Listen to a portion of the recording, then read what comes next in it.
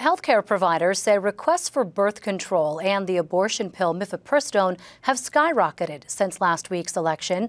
Some women are stockpiling the medications. Others are donating them or seeking out long-term contraception.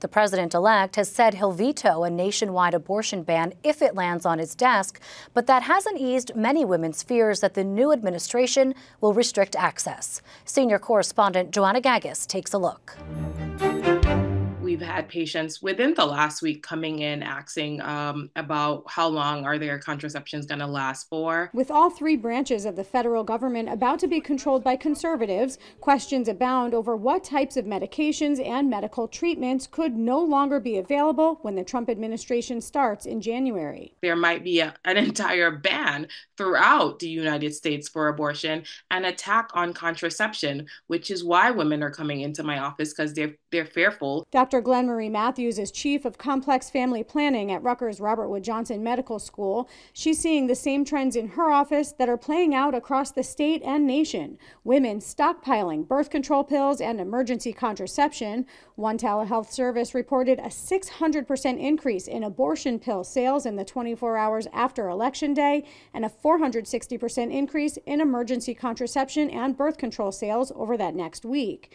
Matthews is also seeing requests for contraception updates like IUDs. If someone has an IUD that is almost close to being expired or will be in the next four years, we find that people are asking for us to just change it anyways, doctor, because I don't want this um, to be an issue once the new administration comes in. What are the concerns of women stockpiling medication and using it on their own without doctor consent, doctor guidance. I guess the risk then becomes um, is this the right person to be using this medication? Plan B doesn't work if, if, if it's not taken in the right portion of the menstrual cycle. If they're stockpiling like estrogen containing um, hormone con- um, contraception because there's always that risk factor of clot, clotting disorder, especially if someone's a smoker, if they have history of migraines, high blood pressure. So having your physician involved in managing your birth control is also a very important part. There's no indication yet that contraception won't be available or covered by insurance, but there have been repeated attempts to restrict access to the abortion drug mifepristone.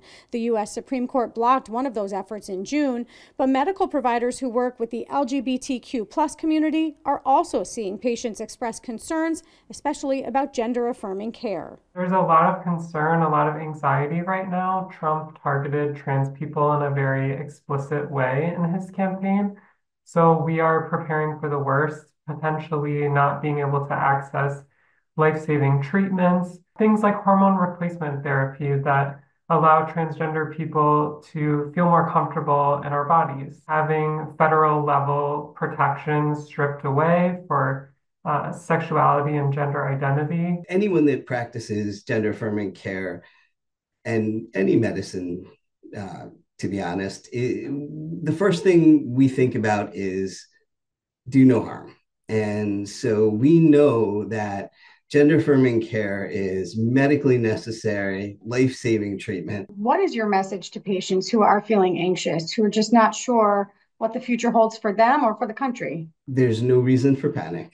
You know, that we will ensure, and I think that the majority of the country and certainly uh, all of the major medical organizations fully believe this is important care and we are not going to abandon them. But there are also questions about what policy changes could mean for medical providers' practices and whether they could still be covered under Medicaid or other insurance. Dr. Kristen Brandy is a complex family planning provider who remains resolute. Even though we're also nervous and potentially scared about what it will look like, we're going to be here. Um, there's going to be people in your community that are going to be providing the care as best we can, as much as we can legally, whatever that looks like. They are encouraging patients to make appointments now while uncertainty remains about future access to that care. For NJ Spotlight News, I'm Joanna Gagis.